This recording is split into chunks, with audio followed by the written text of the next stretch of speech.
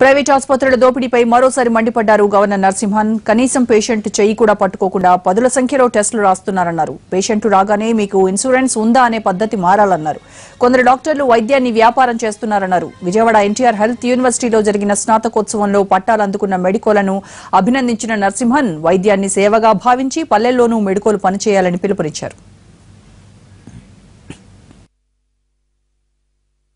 My only request students is the smile that we saw on your faces today while receiving your medals, please return that smile to your patients tomorrow.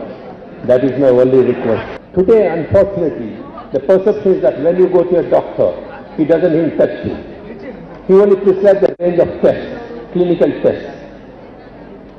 In fact, the other day I was told that when somebody went for his uh, examination for some of the, whatever, whatever you may call the cat, rat, mad cat, where a whole lot of graphs that the people want.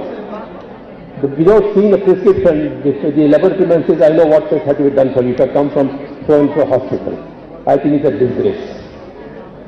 Can we afford to get such a certification? Dr. Had mentioned this in his speech also. Why is it that we have to have a whole range of tests for even without touching the man? I mean, you don't infect the patient and you prescribe a whole range of tests. Is that morally right, ladies and gentlemen?